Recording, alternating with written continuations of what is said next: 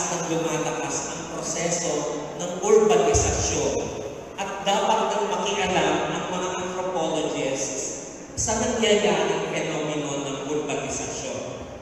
Next please. So,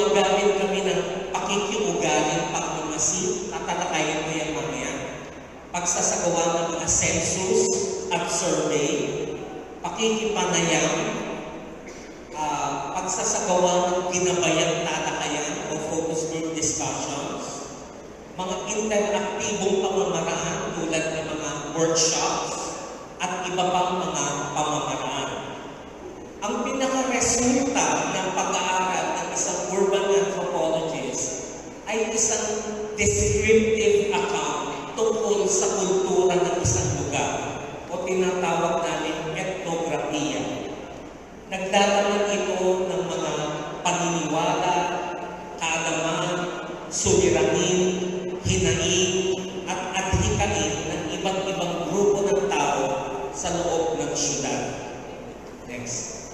So, isa sa kalakasan ng mga anthropologists ay yung pamamaraan ng participant observation o pakikiugaling pagmamasid.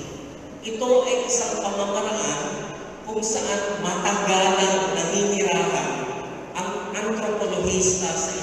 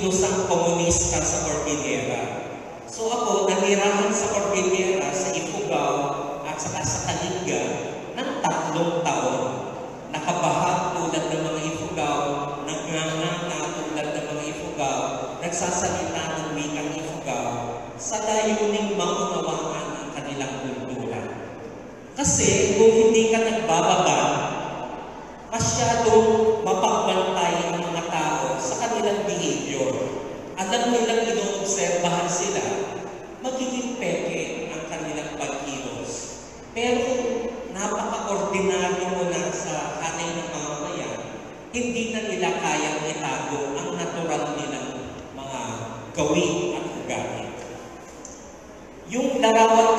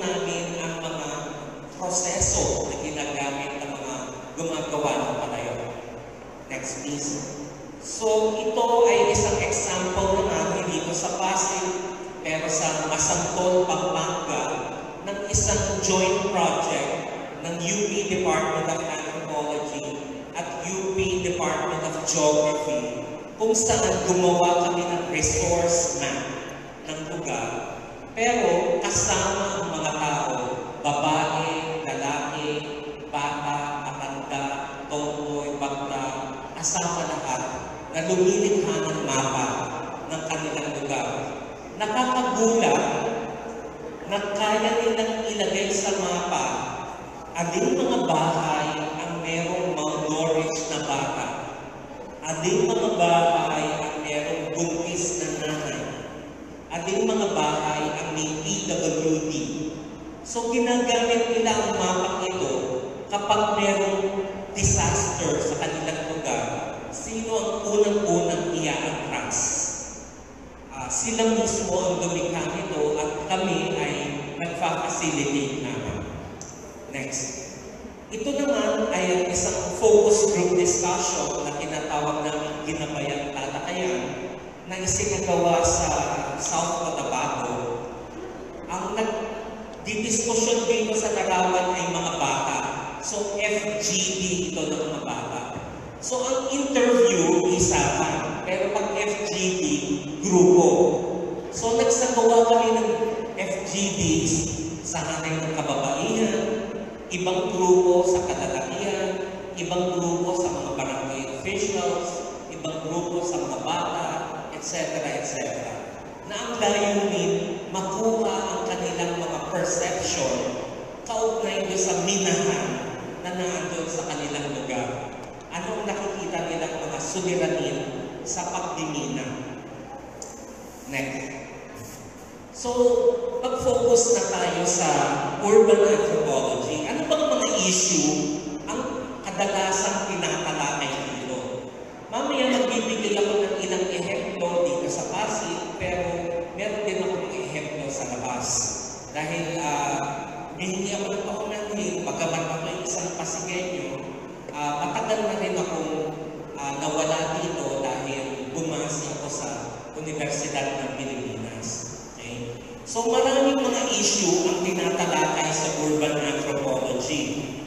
Marami sa mga issue ito ay tungkol sa mga suliraning dinaranas ng iba't ibang syudad sa mundo.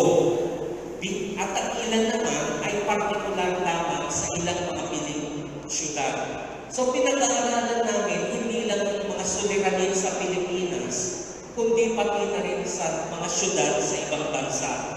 Dahil gusto namin makita kung ano ang kumon ng mga suliranin sa isang syudad. Sinusuri ang ugat ng mga suliranin ito at humahanap ng posibleng mga kalutasan, lalong-lalo na sa punto de vista ng mga naninirahan sa syudad. Kadalasan kasi ang mga problema sa syudad, ang humahanap ng solusyon ay ang mga politiko na nasa pamahalaan. Pero gaano kakonektado ba sila sa mga ordinaryong mamamayan?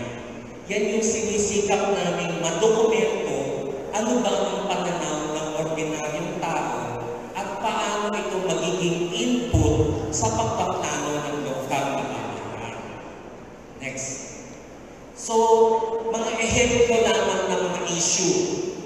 Isa sa kulungko ng mga ito ay mga problem, problemang pangkapaligiran sa syudad. No? Tulad ng polusyon sa hangin, pagkatambak ng mga basura, pagkaubos ng mga puno at kagubatan, pagliit na ng mga ilog at estero, pagbaha, di malinis na inumin at iba pang mga issue. So makikita natin sa larawan ang pagbaha ng, ep- ng epekto ng bagyong Udoy noong 2009 na isa ang Pasig sa talagang tinamaan. Naunang nagbaha sa mga Marikina, pero pababa na pababa sa Pasig yung tubig baha. Kung kaya sa Pasig masyadong nagtagal. Bakit isyong pangsyudad ito at hindi sa kanayunan? Kasi sa kanayunan, meron pang daluyan ng baha pupunta sa mga ilog na hindi pa parado. Pangalawa, marami pang kagubatan at mga puno na nag-a-absorb ng tubig. Pero sa syudad na sementado, walang tutuluyan ng baha. At ito ay napakapatak na lugar. So madalas na issue ang mga bagay na ito sa ating uh, mga syudad. Uh, nabanggit ko, uh, nung pinakilala ko, so nabanggit na dati ako ay Vice Chancellor for Community Affairs sa UP Diliman. kami po ay 493 hectares. Ito ay mas malaki pa sa Vatican at Monaco na pinagsama. Ganyan kalaki ang UP Diliman. May apat na barangay sa loob ng Diliman. So ako ang parang mayor ng mga barangay captain na yun dahil property ito ng universidad. Merong malaki kaming kagubatan doon na tinatawag na Arboretum. Ito ay 17 hectares. Isa sa pinakamalaking gubat sa loob ng Metro Manila. Of course, yung iba pa, yung sa Lamesa rainforest natin. Pero ah, ito ay threatened na rin dahil sa intrusion ng maraming mga informal sectors. Ikalawang suliranin ay ang mabilis na paglaki ng populasyon na ang pagdagsa sa syudad ng mga dayo mula sa mga kanayunan. Malalaki ang pamilya lalo-lalo na sa hanay ng mga mararita, siksikan ang mga pamayanan, at dahil dito may kakulangan ng serbisyo publiko. Siyempre, habang lumalaki ang populasyon ng syudad, hindi nakakaangkop ang mga serbisyo tulad ng ah, para sa gamutan o pangkalusugan, tubig inumin, transportasyon, pabahay at iba pa. So makikita natin dito ah, aerial view ng Maggaan Parkway at gaano kasiksik ang mga bahayan sa lugar na ito. Next. Ah, pangatlong problema, problema sa transportasyon at sa daloy ng tao. Alam natin ang problema ng matinding traffic sa Metro Manila, kasama na ang Pasig. Malaki ang nasasayang sa oras ng mga tao para lamang sa pagbibiyahe. Ako ay nakatira sa Greenwoods.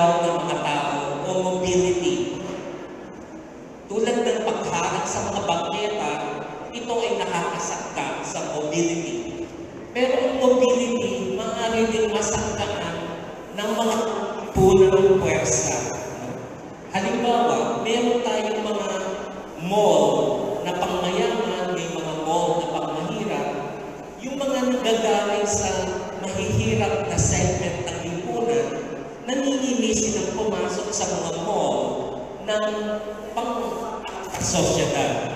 So ito rin ay pagsangka sa mobility.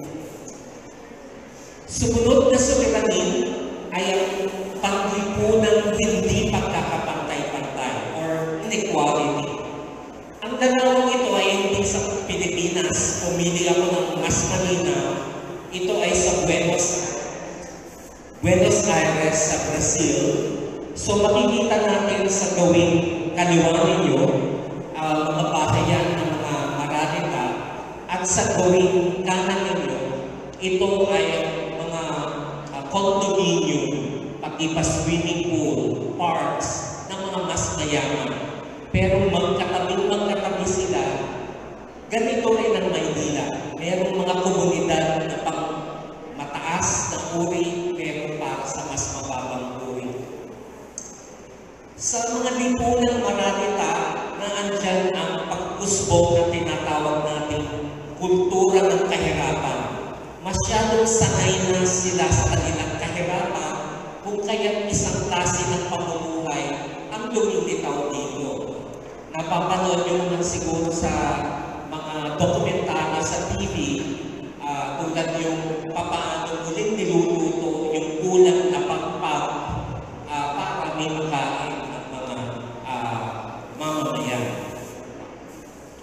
Syudad, matatagpuan natin yung isang irony o kabalintunaan na andyan ang komunidad ng mga Maranita, pero naandyan din ang mga gated subdivisions.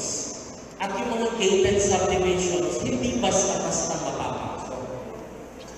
Magkaiba rin ang access sa kalusugan at iba pang serbisyo ng mayaman at mahirap.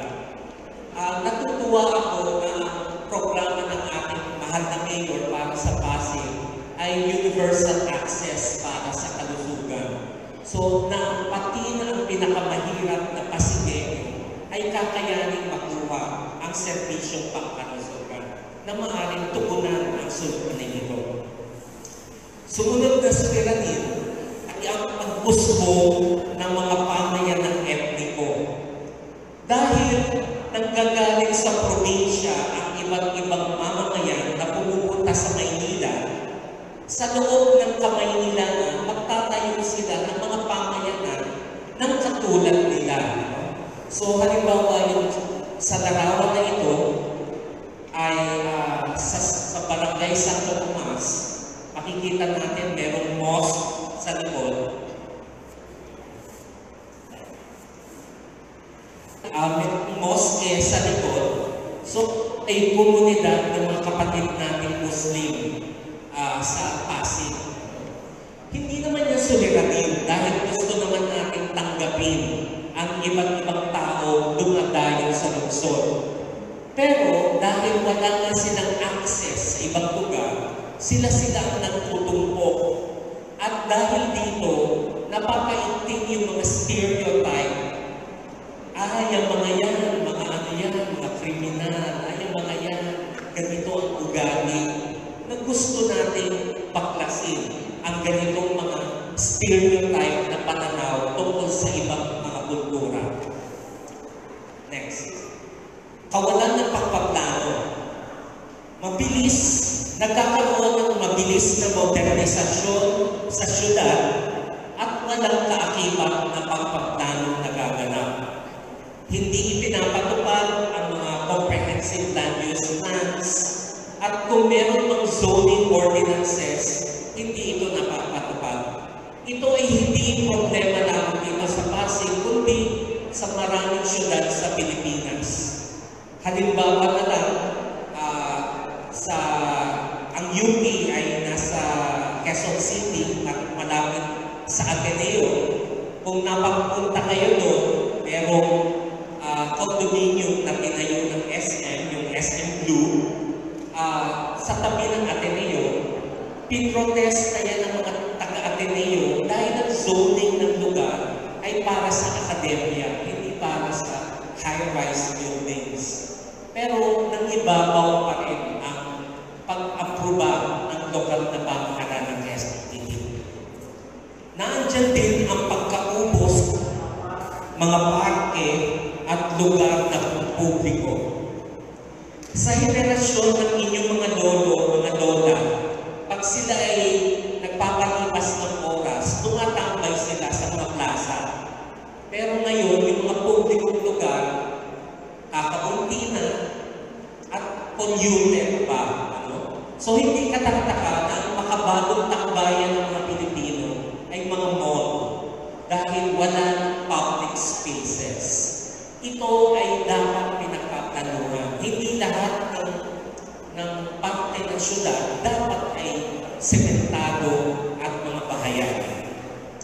Naandyan din ang kawalan ng pagtataya sa maximum na kapasidad ng isang syudad or maximum carrying capacity. Ang nagdisenyo sa Baguio City ay si Burnham, no? kaya may Burnham Park doon.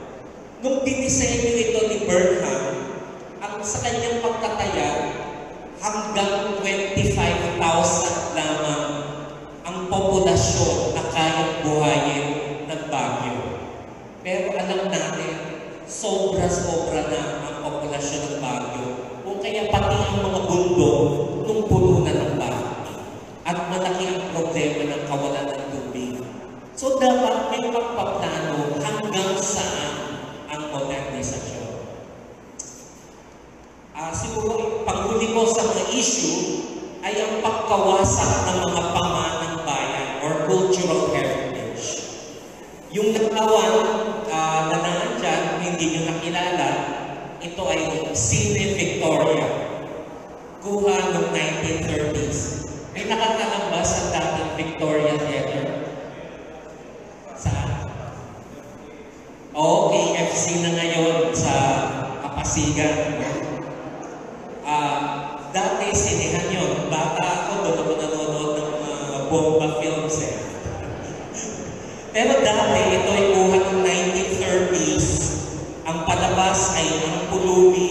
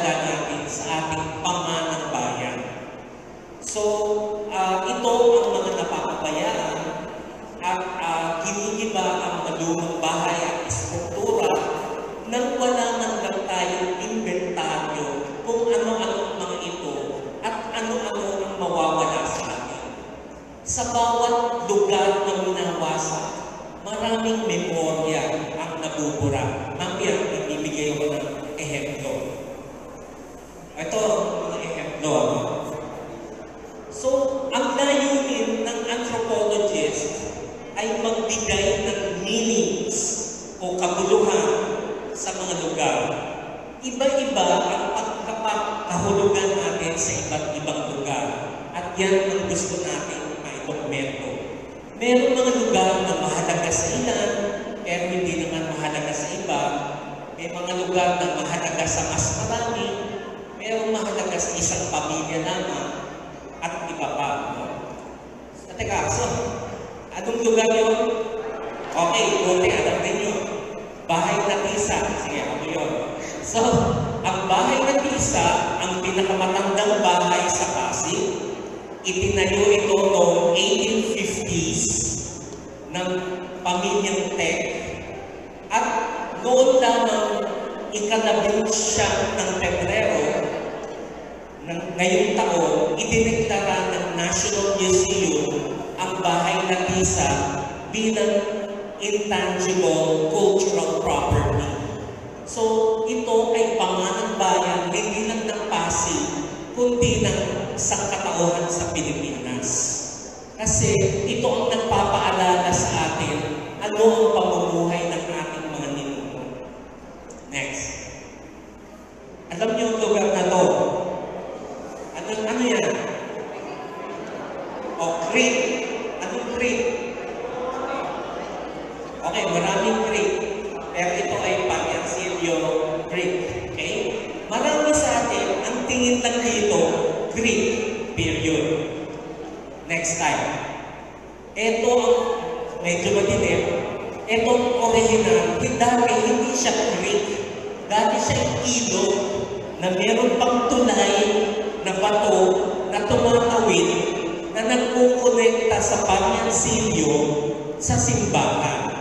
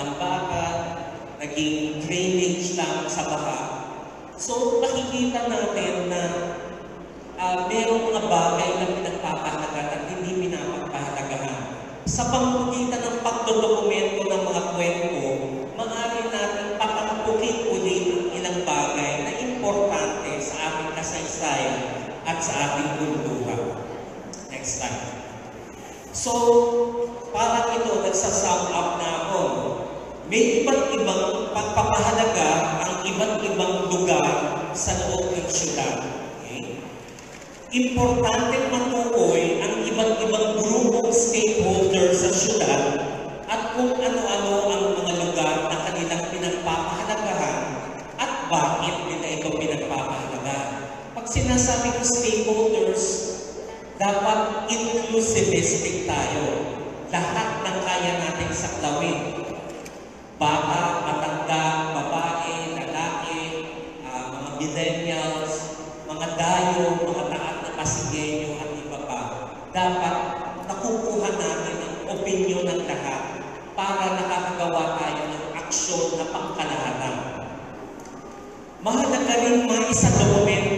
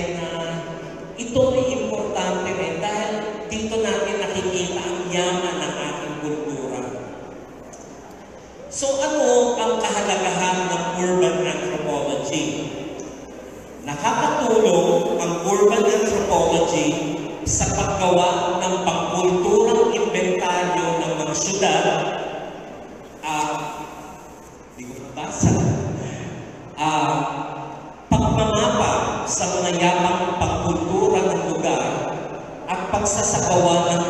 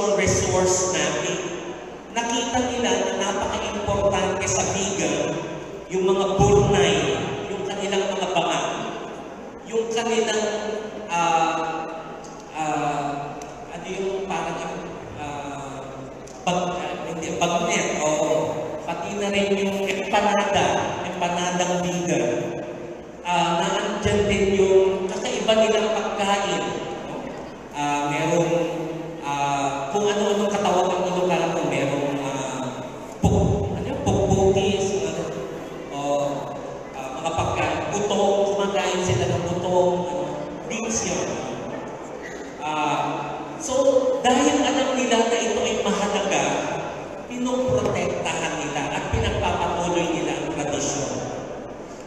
Nakakatulong din ang urban anthropology sa pagtuklas at pagkilala sa iba't ibang stakeholders sa syudad at, at nalalaman natin ang kanila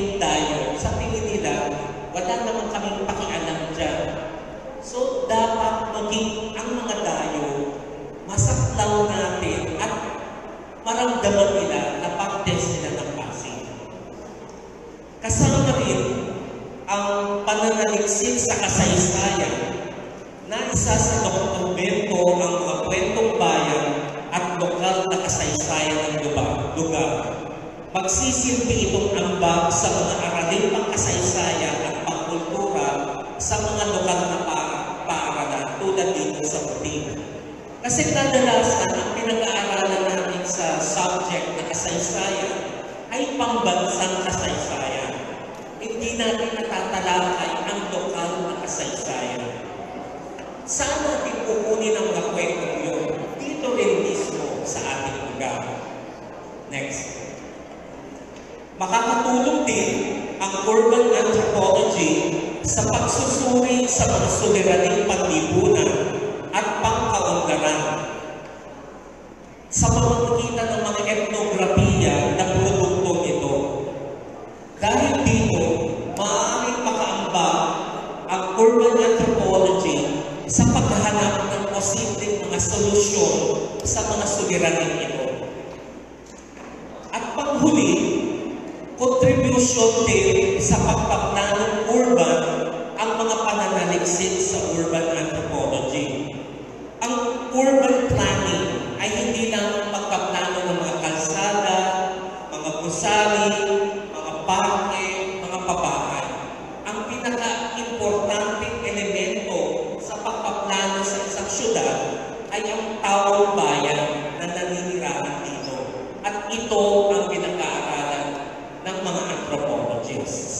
So, ito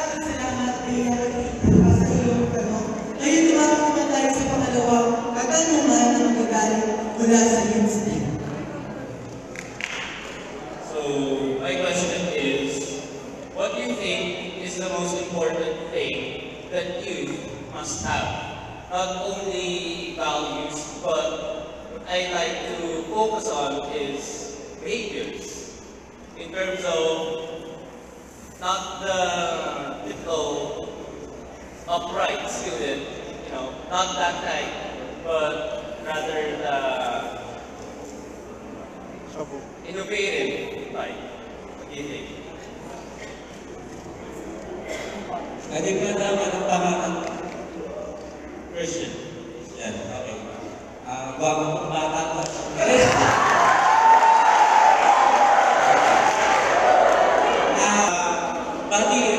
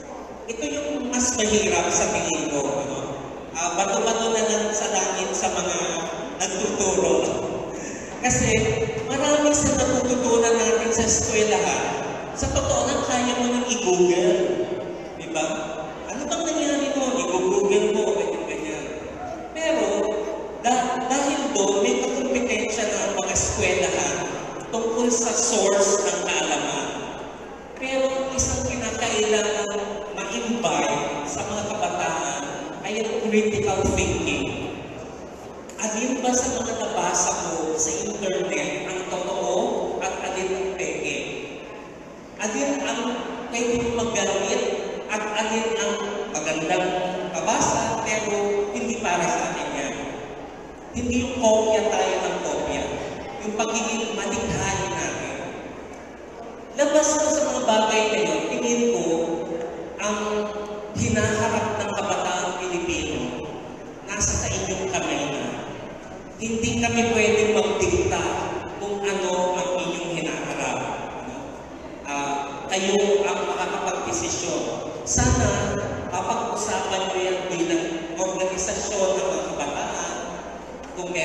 pensar também